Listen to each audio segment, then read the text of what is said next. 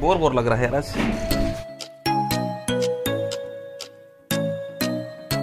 लग रहा है पतझड़ का मौसम आ रहा है क्यों?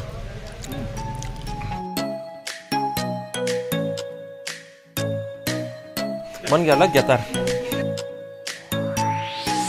क्या ले आई? क्या क्या? आलू प्याज और दाल। ठीक लगेगा नहीं लाइट यहाँ?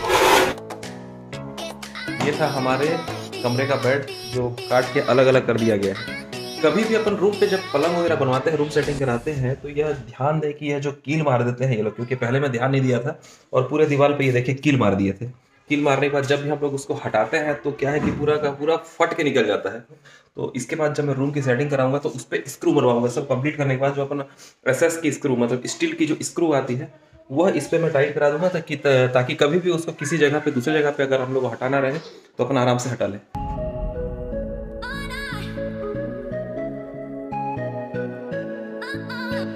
ये मेरे रूम से निकला है और इस रूम में सेटिंग हो रहा है। ये टूट गया। यहाँ पे अपन प्लाई मार के इस जगह की प्लेटिंग कर देंगे नए सिरे से चलेगा। कटिंग करा दिए हैं और ये मैचिंग करके इसको पिटवा देंगे।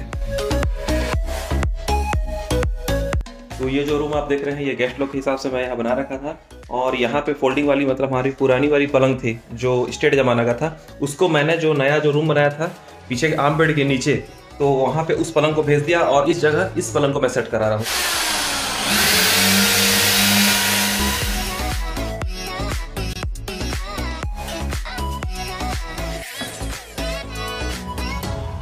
स्वच्छ भारत मिशन। यह जो मिशन निकला है, इसके कारण जो है हमारे आसपास एकदम मस्त साफ़ सफ़ाई है। हर सप्ताह में तीन दिन या चार दिन ये लोग आते हैं और पूरा का पूरा यहाँ का कचरा उठा के ले जाते हैं, जिससे यहाँ की साफ़ सफ़ाई और मस्त बढ़ गई है।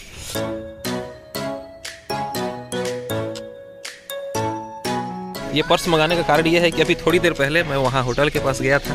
तो एक फालू चाप में ट्राई किया, उसके बाद संख्या बढ़ती गई। मैं घर भी भेजवा दिया उसके बाद रामलल्ला के लिए मंगवाया फिर सचिन आ गया सचिन को आलू चाप खिलाया। तो उसके बाद अचानक हम लोग लाल चाय का भी ऑर्डर कर दिए हैं खड़े खड़े चाय लाता हुआ गिलास देख के ना दिल गदगद हो जाता है। कैसा प्रतीत कर रहा है तू? उस मैना को फोकस करना वो देखो। उसके लिए ना वो पावरफुल वाला मोबाइल उसके लिए प्रो मैक्स गजब का रहता है। इसका जो एप्पल का है ना अभी एक तो? वो जैसे मैना वगैरह है ना उसको तू एकदम बिल्कुल जूम करके ले सकता है। हाँ। क्या बताया था? अच्छा कब आएगा फिर? कंफर्म बताना मेरे को। दो दिन में ना? चलो ठीक है। ले लेना ना गुरु से दो हज़ार ले लेना।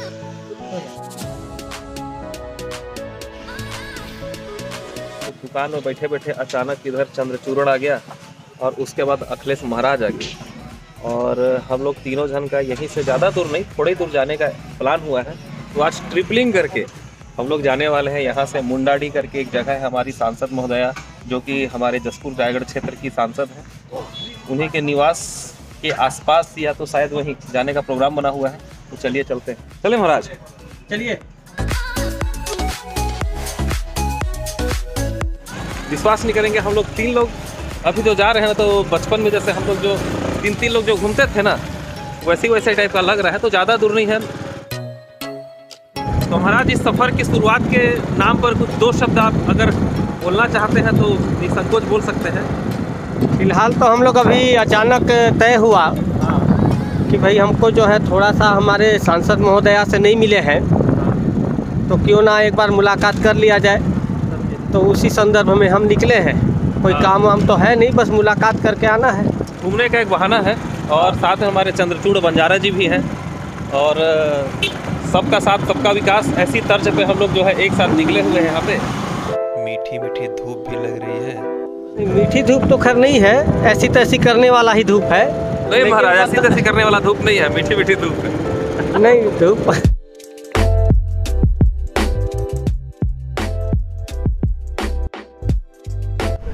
जगह ही वैसा है कि एक बार ब्रेक लगाना ही चाहिए। सत्य है क्योंकि हाँ। जगह भी अपन देख रहे हैं देखिए इस तरफ़ पहाड़ियाँ है। इस तरफ़ पहाड़ी इस तरफ़ पहाड़ी और उस तरफ़ भी पहाड़ी है। ये जसपुर की धरोहर है। जसपुर में यही धरोहर के कारण जसपुर जो है अपना प्रसिद्ध है। और इससे भी और बेहतरीन जगह और है जहाँ हम अभी जा रहे हैं वर्तमान में। यहाँ हाथियों का भी आतंक हमेशा लगा रहता है। शाम हुआ मतलब इस क्षेत्र में निकलना मुश्किल हो जाता है। तो हम भी प्रयास यही करेंगे कि शाम तक जो है घर आ ही जाए। तो बहुत अच्छी बात जो है महाराज ने हमें यहाँ पे बताई। और अचानक महाराज का जो इस जगह बाइक रोकने का मेन उद्देश्य यही था कि जसपुर के कुछ स्थितियों से आप लोगों को रूबरू कराना था। और महाराज यहाँ पे ब्रेक मारने का एक कारण और मेरे को अब समझ में आने लगा है। तो महाराज ऊर्जा का स्रोत को दिखाने का कष्ट करें। महाराज को मैं समझा समझा के थक गया कि भाई आप इस चीज़ को त्याग दीजिए।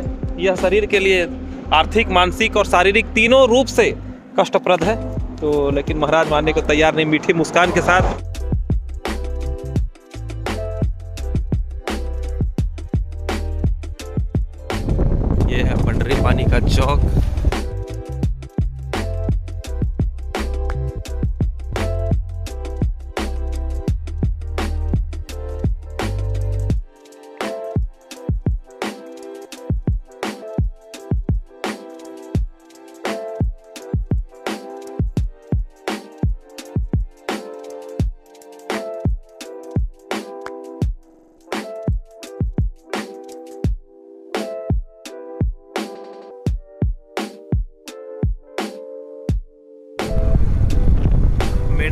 ज़ीरो किलोमीटर राइट साइड जाता है ये रास्ता सराई टोला की तरफ़, और ये रास्ता जाता है तपकरा की तरफ़।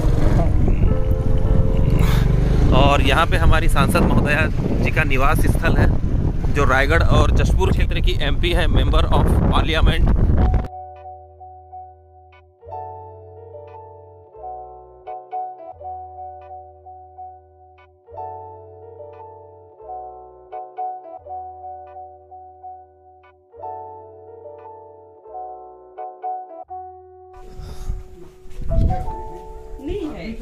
अभी अभी तो निकली जल्दी नहीं आए। अच्छा निकल गए क्या? ये हमारे सांसद महोदया जी के पिताजी हैं जो हमारे बाग बहार के पास ही कोरखिया घर में रहते हैं।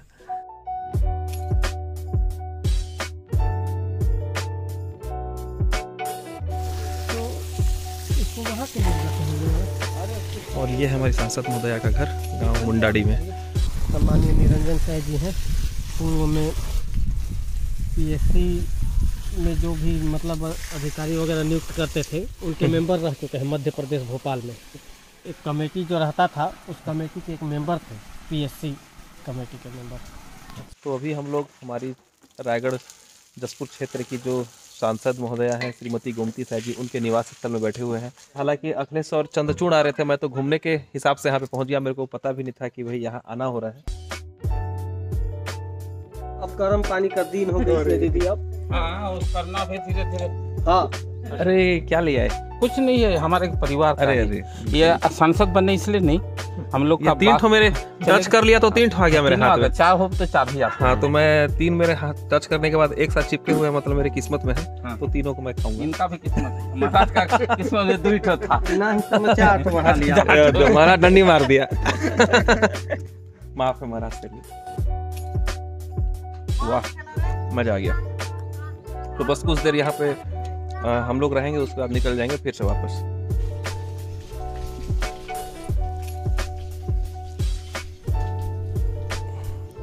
अरे वाह ये देखिए मिल गया लाल चाय। आने वाले वस्त्रों का और जाने वाले विद्वानों का जाने वाले विद्वानों का बहुत नाम होता है। और वहाँ जो भी प्रबुद्ध जन अपना जो है सभा को संबोधित किया अपना वक्तव्य रखे वो सभी ने एक ही विषय पर कहा। हम्म, हम्म। जी। कोई अलग से- भी सुने होंगे आप लोग। जी जी। कम शब्दों में सारी बातें आ गई। जी जी जी।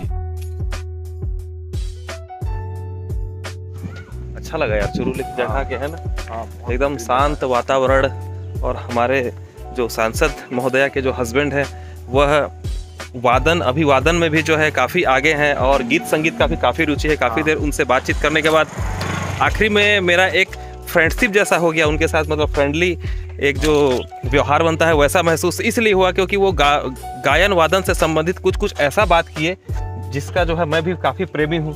ये जो क्षेत्र दिख रहा है पूरे जंगल लगा हुआ है घर से और उसी जंगल के रास्ते हाथी यहाँ घर तक पहुँच जाता है। छोटा सा ही है। मेरे को लग रहा है कि होटल है, कच्चे का जो टपरी है और यहाँ पे हमारी जो सांसद महोदय है, उनका एक सुंदर प्यारा सा बोर्ड भी दिखाई दे रहा है, जहाँ पे इंडिकेट कर रहे हैं कि बस यहीं सा राइट साइड में उनका निवास स्थल है। और मैं सोच रहा हूँ कि यहाँ पे इसी जगह का अपन लोग जो है थंबनेल में यूज़ कर लें। थोड़ा सा यार अपन हालाँकि हम लोग को वापस होना है उधर लेकिन एक बार पीछे कर ना वो घने जंगल को अपन लोग देखेंगे जहाँ हाथियों का आतंक जो है चरम में रहता है तो उस जगह थोड़ा सा अपन बाइक जो है मोड़ लेते हैं और एक बार इस जंगल की छोटी सी जो है यात्रा कर लेते हैं। ये सामने आप देखिए खतरनाक जंगल है। अब बता हमारा जंगल के विषय में आप सुनिए महाराज की वाणी। मेरे को ये बताया जाए जी। कि हम सिर्फ़ जंगल घूमेंगे या हाथी के कदमों तले जाएँगे भी? अगर इच्छा है तो जा सकते हैं क्योंकि यही आसपास है। किलो डेढ़ किलोमीटर में मिल जाएँगे। डर है देख कितना सुनसान और एकदम पीहड़ यह जंगल है पूरा का पूरा सराई के पेड़ का यह जंगल है देखिए। तरह तरह के और भी कुछ प्रजाति के पेड़ है लेकिन सराई पेड़ की मात्रा ज़्यादा है। तो महाराज? हाथी से बचने का एक ही उपाय है सेठी जी। आप अपने पीछे जो है दौड़ते समय एक आदमी को छोड़ लो ऐसा? हाँ। तो मैं अपना चश्मा निकाल के महाराज को देते हैं और महाराज अब जो है पूरा फुल तबाही लुक में आ चुके हैं और महाराज अब जो है पूरा अतूप ऊर्जा से परिपूर्ण हो जा और अपनी वाड़ियों को ताकत प्रदान करें और बोले महाराज के दांत भी देखिए बिल्कुल सोने से चमक रहे हैं चाँद में एक जो दाग दिखता है वैसा ही महाराज के जो है दांतों में एक दाग दिख रहा दिखाई दे रहा है तो महाराज। ये जो जंगल है हाथी तो यहाँ बेशक है। हैं। तो फाइनली चीज़ है। फाइनली है। और अगर आप लोग अगर हिम्मत करते हो जाने का हाँ। तो मैं वहाँ तक ले भी सकता हूँ। तो कितना दूर है यहाँ से? एक डेढ़ किलोमीटर में है। हाथियों का जो डेरा है डेढ़ किलोमीटर के अंदर अंदर में है ऐसा महाराज कह रहे हैं। जी। तो महाराज के हिसाब से हाथियों का जो प्रमुख डेरा है वहाँ यहाँ से लगभग एक से डेढ़ किलोमीटर में है और हालाँकि यहाँ पे भी पूरी पूरी संभावनाएँ हैं कि हाथी हाथी हम लोग को कहीं से भी मिल जाए। लेकिन जो मेन स्थल होता है वहाँ तक अपन जाए कि नहीं जाए अपन लोग सोच रहे हैं। कैसे करें महाराज? ये देखो जाना तो खैर उचित नहीं है। हैं? मैं बता रहा हूँ आपको। हाँ। आप उतरो। मैं उतरा। हाँ। हम लोग उतर गए। हाँ। महाराज। ये जो रास्ता है यहाँ से कुछ दूर अगर अपन जाएँगे ना हाँ। तो हाथियों का एक झुंड ज़्यादा तो नहीं लेकिन दो तीन हाथी यहाँ है। ऐसा लोकेशन मिल रहा है। ये रास्ते में? हाँ बस कोई सा भी रास्ता इसमें से भी अगर घुसा जा सकता है। उस स्थिति का थोड़ा सा एहसास कर लेते हैं। थोड़ा सा अंदर घुस के बस देखते हैं बाकी अंदर जाएँगे नहीं। और गाड़ी यहाँ पे? कोई दिक्कत नहीं। कोई दिक्कत नहीं है तो हम लोग जंगल के अंदर इस जगह पे कुछ दूर उस चीज़ का एहसास करने के लिए जा रहे हैं ना कि हाथी देखने जा रहे हैं। अच्छा। अगर दौड़ाना चाहे हाँ। तो तो आसानी से दौड़ा सकता है। हाँ। लेकिन अपने को बचने का तरीका यही है हाँ। कि आप किसी एक इंसान से आगे रहो। और पीछे जो एक इंसान जो पीछे बचा है वो? वो तो कहीं ना कहीं हाथी की चपेट में आएगा ना भाई।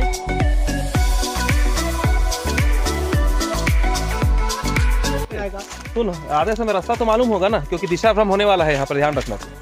देखो यार इससे ज़्यादा अंदर जाने। में तो फट तो मेरा भी रहा है। ऐसा? हाँ क्योंकि कहीं भी पूर्ण रूप है। पूर्ण रूप से हाथी प्रभावित है कहीं से कुछ दिख रहा है क्या?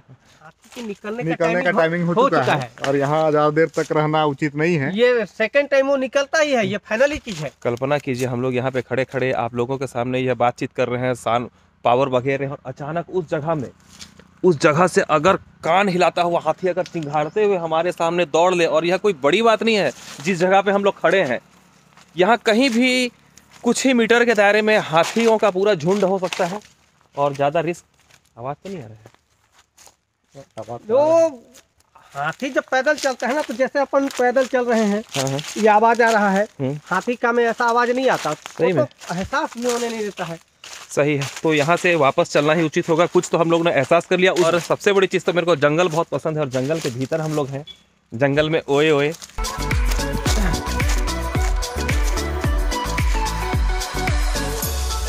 तो बड़ा बड़ा बात करके आखिर में हम लोग जो है वापस निकल रहे हैं अपने घर की तरफ़। उसे थे हम लोग उस तरफ़ से उस रास्ते से। और निकल रहे हैं हम लोग इस तरफ़ से। मतलब इतने दूर में ही हम लोग जो है भ्रमित हो गए थे पता नहीं और अंदर घुस गए होते तो क्या होता है। कैसे करेगा अब तो छोड़ दो कुछ तो करने दो मेरे को यार। मैं क्या निकाल रहा है तू? मैं जनेऊ निकाल रहा हूँ कान में टांग के मैं पेशाब करूँगा। तेरा भी कुछ प्राइवेसी है यार। तेरे हर प्राइवेसी को हम लोग भंग नहीं कर सकते। वेट कर लेते हैं।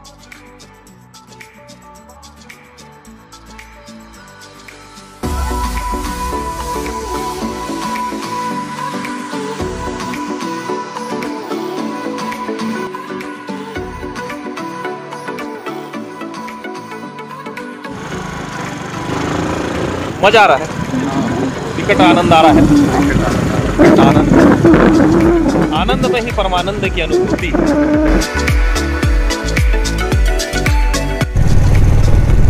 ये देखिए ये काफ़ी पुराना बरगद का पेड़ है। और इनकी जड़ों को देखिए कैसे बिखरा हुआ जड़ है।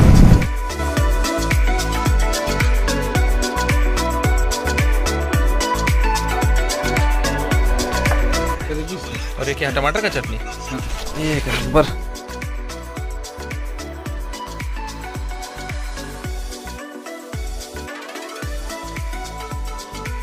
खाने को तो खा लिया महाराज टेस्ट में लेकिन अभी महाराज तेरा हालत खराब है। तेजाब मिला है मिर्ची को कंट्रोल करने के लिए हम लोग ये चिक्की का आनंद ले रहे हैं। ठीक लगा? थोड़ा कंट्रोल हुआ? कंट्रोल हो रहा है।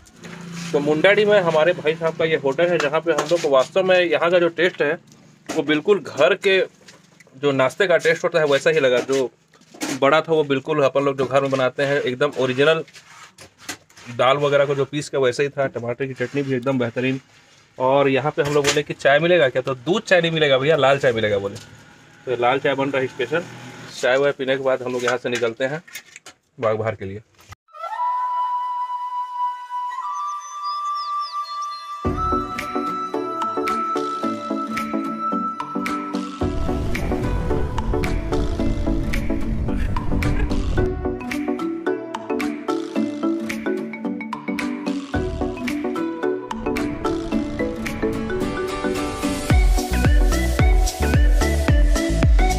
पहुँच चुके हैं पंडरी पानी के उद्यान विभाग का नर्सरी।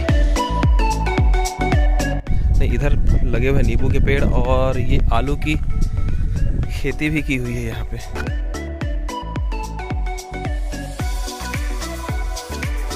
तो घूमते घूमते शाम के लगभग चार बज गए और काफ़ी अच्छा लगा आज का दिन, काफ़ी अच्छा गुजरा।